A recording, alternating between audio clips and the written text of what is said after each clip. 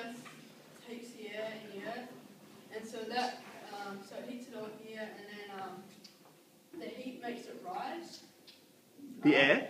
And so then the cool air comes in here, and the mixture of hot air and cool air um, creates moisture, and so then when the uh, so then when that all rises, when it cools, because up in the atmosphere it's a lot colder, then that will cool and create a cloud. And then, then it could create exactly, exactly. And then everything that those clouds do affects the weather. So we'll talk about clouds later. Brilliant.